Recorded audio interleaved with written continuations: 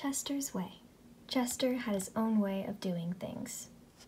Hello, my name is Chester. I like croquet and peanut butter and making my bed. He always cut his sandwiches diagonally. He always got out of bed on the same side. And he never left the house without double knotting his shoes. Chester always had the same thing for breakfast toast with jam and peanut butter. And he always carried a miniature first aid kit in his back pocket, just in case. You definitely have a mind of your own, said Chester's mother. That's one way to put it, said Chester's father.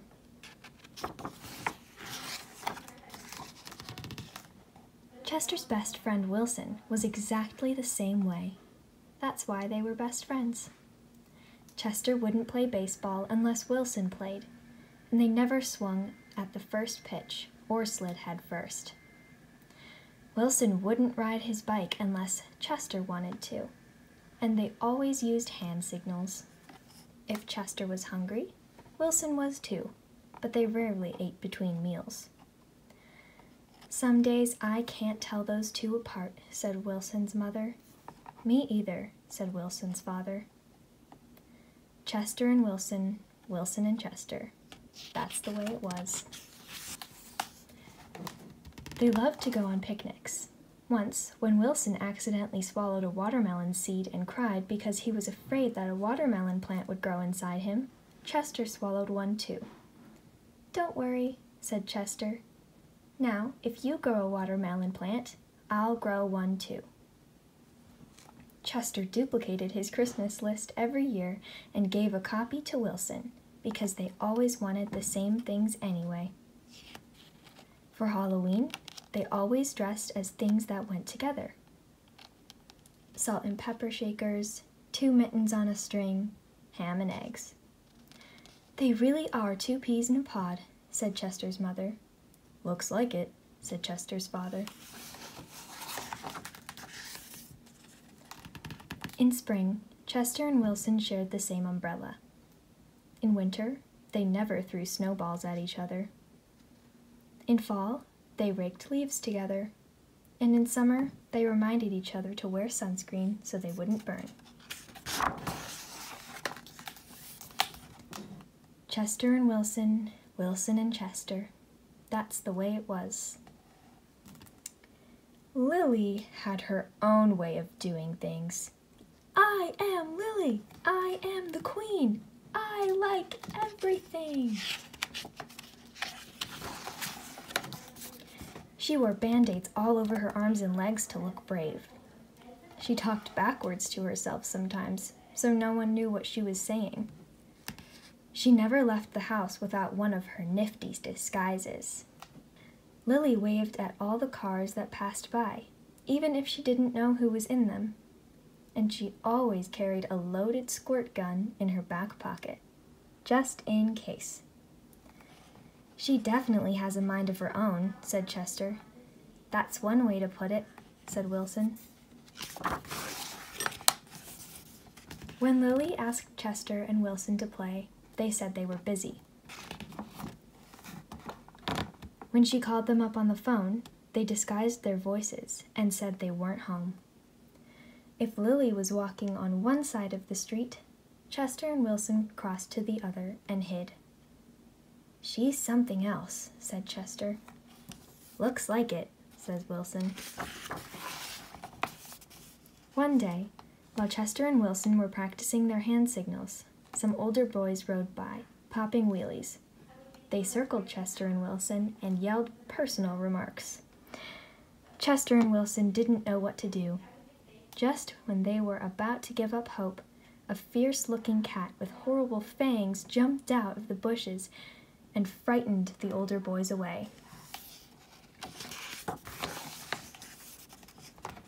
Are you who I think you are? Chester asked the cat. Of course, the cat replied. Thank you, Lilly, said Chester. You're welcome, Chester, said Lilly. Thank you, Lilly, said Wilson. You're welcome, Wilson, said Lilly. I'm glad you are wearing a disguise, said Chester.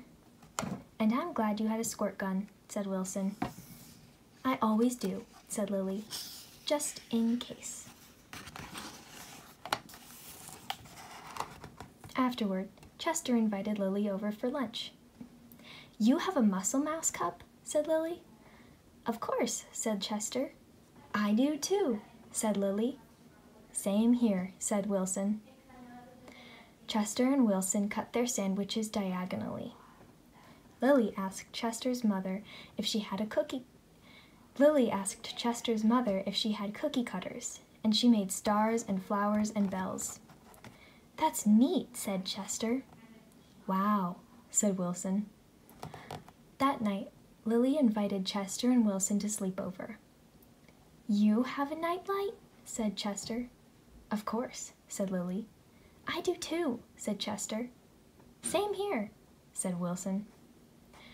Chester and Wilson wanted toast with jam and peanut butter for breakfast the next morning.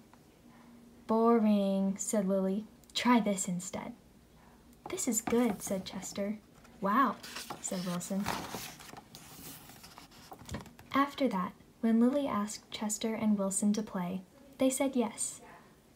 When she called them up on the phone, they had pleasant conversations. And if Lilly was walking on one side of the street, Chester and Wilson waved and ran to catch up with her. Chester and Wilson taught Lilly hand signals, and she taught them how to pop wheelies. Lilly taught Chester and Wilson how to talk backwards, and they taught her how to double knot her shoes. Some days I can't tell those three apart, said Lilly's mother. Me either, said Lilly's father. Chester and Wilson and Lilly, Lilly and Wilson and Chester. That's the way it was. For Halloween, they dressed as the three blind mice. For Christmas, Lilly gave Chester and Wilson nifty disguises, and they gave her a box of multicolored shoelaces, extra long for double knotting. They loved to go on picnics. When Chester and Wilson told Lilly about how they had each swallowed a watermelon seed once, Lilly swallowed three of them. I'll grow a watermelon plant for each of us, she said.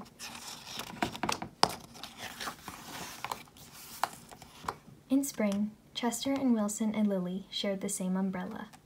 In winter, they never threw snowballs. In winter, they never threw snowballs at each other. In fall, they raked leaves together.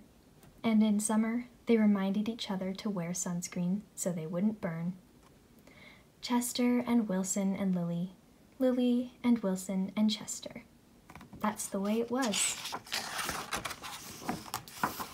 And then Victor moved into the neighborhood. The end.